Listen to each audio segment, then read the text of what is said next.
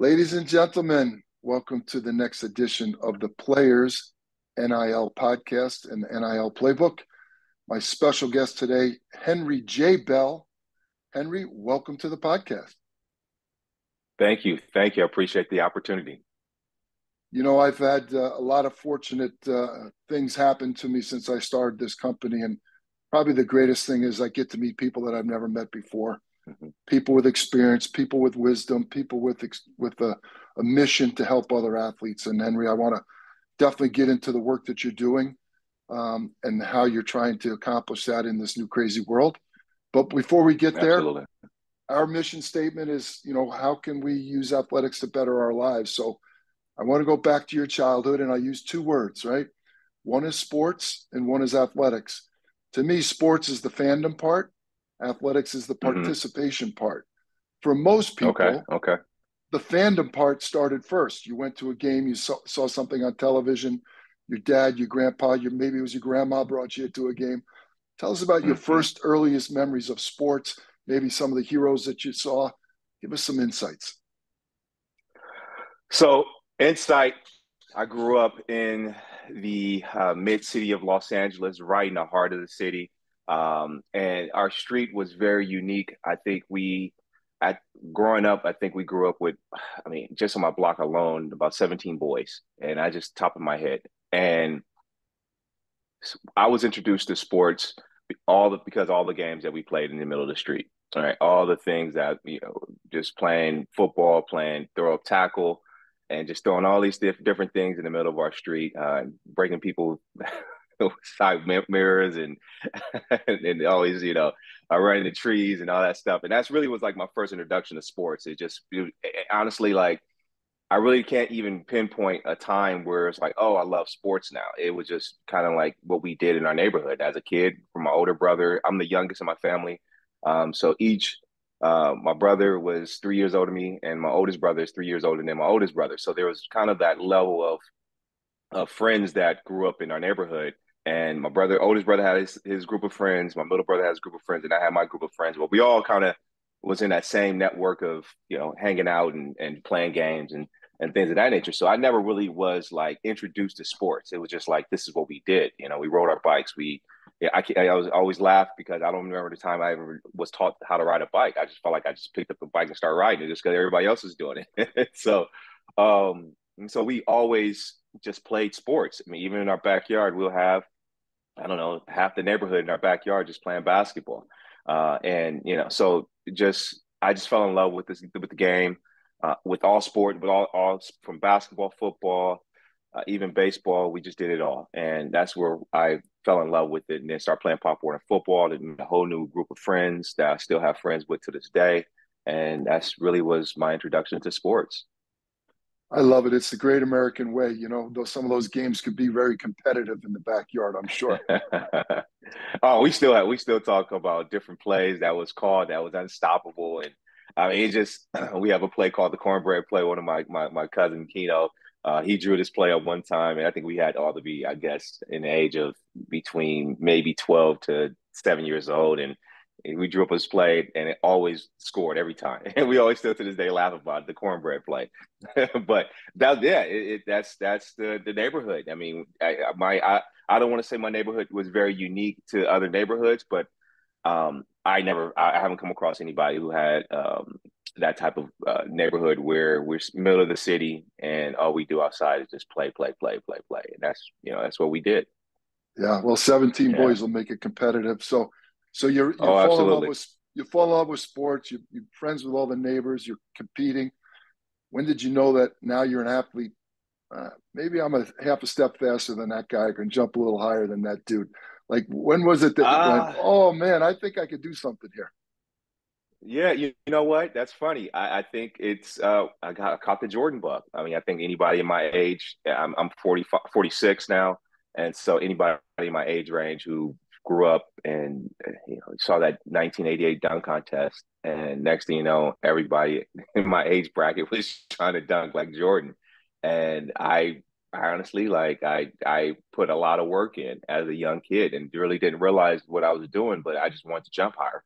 And so i would set up. Uh, we used to have a little picnic table in the backyard, and that was I didn't know what plyometrics were, but I was doing plyometrics at 12 years old, 10 year 10, 10 to 12 years old. I was jumping the, on, on and off the the bench in the backyard. So um, and I was able to increase my jumping ability. I was able to get faster, and all these things that I didn't know I was doing. I just wanted to be Michael Jordan, and um, and that was like, wow, okay, well, I just dunked on this guy. I didn't know I can do that, but all right, I just outran this kid, you know. And so I was like, oh, I think I have, I have something here. And then obviously you have your coaches that tell you, you know, they start to see something in you, and and they start to pick you up and and start to make sure that you come to practice and, and do all the things you need to do to be successful. So I did have that and your friends as well, you know. And so um yeah, it was probably around I want to say 12, 13 where I really knew that I, I this was what I wanted to do. And I, I felt like I was I had the athletic ability to to do it.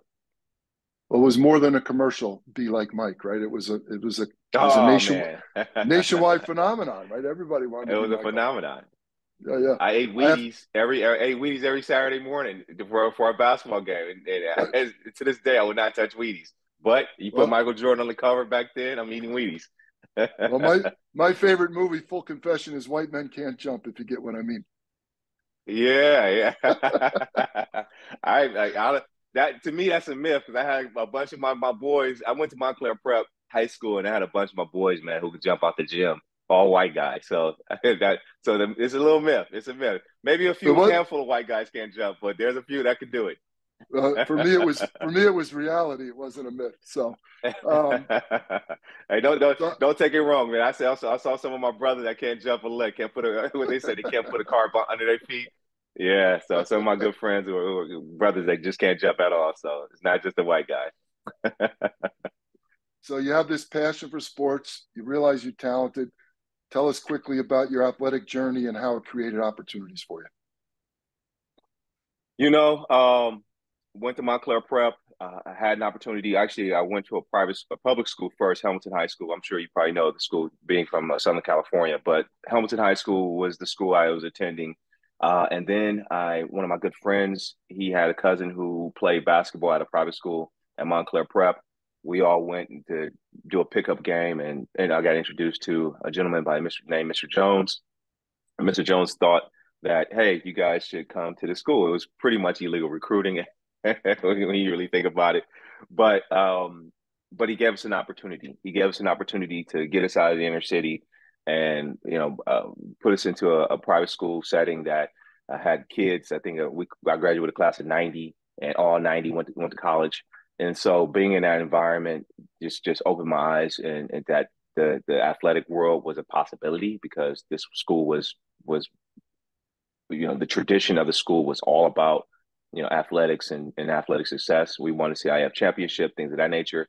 And um and so from there and it's in my book as well i didn't really like early on i didn't grasp academics and athletics was always the the the, the go-to right academics was always second or third nature. So I struggled my senior year, didn't didn't pass my SAT, so I didn't have to go to a junior college, and which was actually a better a good thing for me in hindsight because I was able to develop. I was able to um, understand my role and understand the importance of academics. And so once I took took it serious, then I had a good two couple years at junior college, and then I got a scholarship at Purdue. And so uh, it, it, was just a journey. It was just one of those things where you had a lot of heartache, a lot of success, but uh, a lot of heartache because the recruiting process was was challenging for me because all the things I didn't do early on in my in my career from ninth, tenth grade, I just I didn't handle business. So um, and then not passing my SATs, all those things were kind of my it, it just it just is just some setbacks and some very very very heavy disappointments that I had to take on and had to figure out how to get over and uh, and overcome, and I did, and uh, and so ended up going to Purdue, had a good career there, uh, and again I got sidetracked and get stay focused, and then graduate, and so that's kind of led me into my you know life after college, where it's like okay, everything I, I went through, everything, all the struggles, how do I give back, and that's where I started creating my program called B2G Sports. So the second model of our company is how do you use athletics to better the lives of the people around right. you? for 20 plus years, you've put on high school camps, you've managed high school athletes personally, professionally, their families, you've guided them. tell us a little bit about your work and how the game plan, the book, came about. So, um,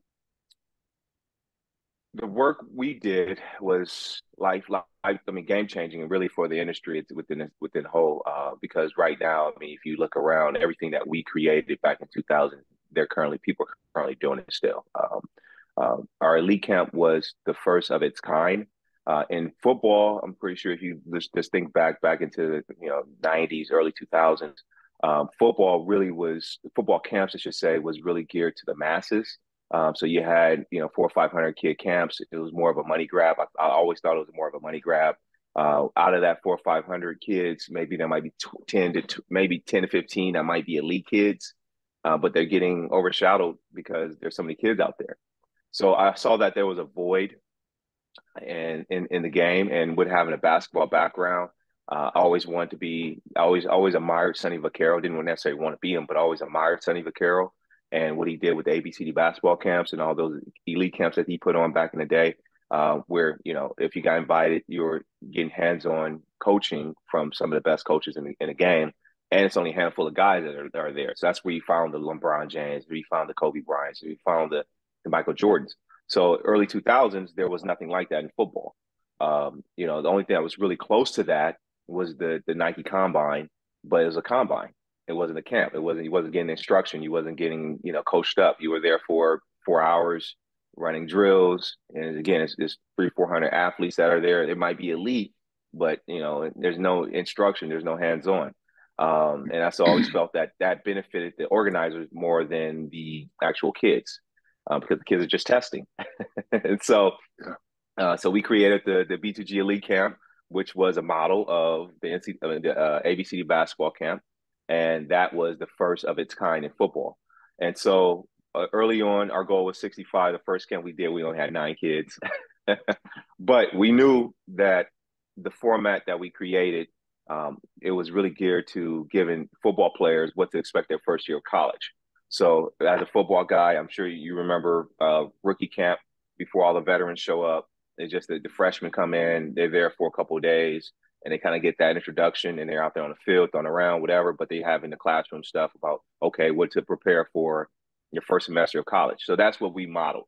So we took the Sonny Vaccaro model of, of just invitation only, small group, no more than 65, and then we took the the model of of um, you know, uh, the first freshman freshman ball basically. So the first first few days of a fall camp, and make that into a camp. And so the practices were identical to what you will get at a college camp, uh, college fall camp. And we also had at night, you know, the business side of what to expect. So we had guest speakers come in from as Marcellus Wiley to uh, uh, uh, Paul Tannenbaum to um, uh, Huma, you know, a lot, a lot of the, the, big players at the time, and they will come in and talk to the kids about the in and outs. Uh, and so that's what we built. We built that foundation. Eventually, caught uh, caught wind to the nation in 2016, 2006, when Nike we were a partner with Nike, and uh, and they did internal video, and basically what they wanted to see was you know what we we're doing, and so they they filmed this internal video that that was just for their their department, and they allow us to have a copy of it and we put it on YouTube and it went viral. Mm. And so I think in the first two weeks uh, we had like maybe two million views and Nike pulled it down. Nike made us pull it down. We put it back up though. It's back up and I think still is like almost 300,000 views on it. And uh, and so when Nike put it back up, I mean, took it down, and the reason why they took it down because it was basically for their internal use. They didn't want it to get out. And so um, that was the birth of everything that you see today because now you see seven on seven club tournaments. And that was because of what we did. Um, our last day of, of the camp was called the A game. And we made it into an event. It was just for a way the kids to to get information about, or not information, I should say, is a way for kids to to earn their last awards, right? So after three days, three nights, the last day of the camp was the A game, which was a 707 competition. We put on flags, things of that nature. And They just running around. I'll send you the video so you can see it. Uh, but they'll run around and you know kids grab flags and it's 707. It's just we always did 707 in in, in, in every practice, just like you know you would at a football camp. I mean, at an actual football practice. And so we made end up branding that to be the A game, and we started inviting people out to come see it because it was exciting. It was a nice time. Kids were doing highlight stuff, and and so that video got out. That's what Nike took internally, and we posted it, and they didn't like that, so they ended up pulling it down. and so um, that was the birth of 707 football, and also the birth of what Nike eventually did a few years later, the Nike Opening. And so they basically took our model and created the Nike Opening. But you also had a birth of from 2008 on, you had a birth of elite camps popping up, and obviously a lot of 707 programs popping up from that point on. So yeah, yeah so that's that's been you know a lot of what we was able to do, and and for the culture, for the industry, and uh, you know we still was working with kids and trying to make sure that they know understand the business side of sports. You know, it's one thing that these coaches recruit you and and they dating you, but once you get on campus, all those things change, and now it's about the business. So what does that look like? And that's what we yeah. share, and that's what the, where the book, the game plan, eventually came from. Well, I love it. You know, it's a it's a way to, to help young athletes and their families. Uh, in theory, that the Absolutely. parents and their supporters and their their their fellow citizens in their community are paying attention to what's going on, and it's a great way to advance the kids' opportunities using athletics. So, name, image, and likeness has been around forever. You go back to the, yes. the Gatorade commercial and be like Mike. I mean, that is an example of name, image, right. and likeness for professional athletes. But you know, now it's available in 25 states high school level and nationwide at the college level. If you're Henry Bell and you're a junior in high school and you could talk to yourself, you know, given the name, image, and likeness opportunities, give me a couple bullet points. What would you tell Henry, age 17, to pay attention to, be careful of, to do, to not do? Give us give us a couple of nuggets of wisdom looking back at the Henry yeah. Bell of today. Uh, you know, got to understand what a brand means, right? Uh, I think for young young Henry, I need to, he, he needs to know what, what what it means to have a brand, and that's uh, people knowing who you are without you being in a room, right? So first and foremost, what does that mean? As well, it's your character, what you do, it's how you carry yourself, how you carry yourself on the field. Um, a lot of things people put a lot of weight on the on-field play, which is very important, which is um, key to that but also what you do off the field. So I would tell my younger self um, to get involved with your community, get involved with doing extra things that will make your brand stronger. So when people connect with you, they're connecting with someone who they know has a strong name in their in their respective community because of the work they've done. Uh, and again, that could be whatever your passion is, whatever you love to do. It could be working with, with the kids at the YMCA. It could be working with um, you know, after school programs or whatever the case may be. Just find your find that program uh, or create your own. You know, if you have a parent that that can help you, create your own. I think um, community involvement is uh, is on par with success of a of a brand uh, for student athletes, and then obviously uh, on field play and on your on the field play, uh, you you gotta you can't cheat the game. You can't teach again. You got to be on point. You got to show up. You got to work hard. You can't cut drills. You can't you can't do the things that is going to minimize your opportunity to be successful. Uh, and so you put those you combine on the field and off the field, and obviously academics. Academics is also part of that. Um, so really, those are my three three three tiers of of things that to really build your brand uh, as a student athlete. If you're in 11th grade, is one again community involvement, two, academics. Let me say, well, one, academics. Let's start there. One, academics. Two, on the field play, because obviously you can't be, you won't have the NIL opportunities if you're not successful on the field. So let's let's make sure that's that's there. And then three, your community involvement. So I think those are the three pillars uh, of success of how of creating a successful brand. I love it. You go from high school athlete, junior college, college athlete, innovator in this space, leader in this space, now author. the game plan. Where can people learn more about you? Where can they buy your book? Is your chance to plug all of your uh, social and online yes, yes, assets? yes. Uh, I, I, appreciate that. So you can uh, grab a copy of the book, The Game Plan here. You can you can pick it up at. Let me see. There you go. You can pick it up uh, at my website at henryjbell.com. Uh, again, henryjbell.com. And my Instagram is uh, Hen Beezy, H E N B E E Z Y. uh, and that's also my Twitter, uh, H E N B E E Z Y. And uh, yeah, feel free to reach out to me. Uh, any questions about the book? Richard Sherman. I was fortunate enough to have Richard Sherman do the foreword. Richard Sherman played, well, not played, but he attended my program from a freshman all the way through really the pro draft. We do have my, my partner at the time helped with the pro draft training for Richard. So he's been with us really throughout the, the process. So he was able to get, give his insight on his experience um, of, of, what we were able to put together and, and what he saw and uh, and how it benefited him as well. So you definitely want to be able to check it out because you're getting a Super Bowl champ giving you real good insight about that as well. So, um, but yeah, that's it. That's it. I got a few things under my, uh, you know, but between, uh, but in my sleeve that I'm gonna be pulling out pretty soon. I will definitely keep you posted on that. And uh, but for right now, just go to my website. You can pick up the book there. Uh, if you can't for some reason go to my website. You can always go to Amazon.com. Often, uh, I tell people that I'm proud of them for the work that they do in their community and giving back. And I will say the same thing to you, Henry. I'm proud for you, for your Thank wisdom, you. knowledge, and for hu- your humility to say, "Hey, these are the things I've learned. Let's see if we can have someone that benefits from my experience and my wisdom." So, congratulations to all of that, and and I salute you for that. I appreciate it, Mark, and I appreciate the opportunity to come on your on your your your, your podcast and have an opportunity to talk about what what I do on this on this platform. So I really really do appreciate you reaching out to me and re- me reaching out to you and you responding, I should say. all boats rise, my friend. We're all trying to learn and we're all trying to do the same thing, and that's help young athletes. So thank you for being my guest today. Absolutely. I appreciate your time. Thank you.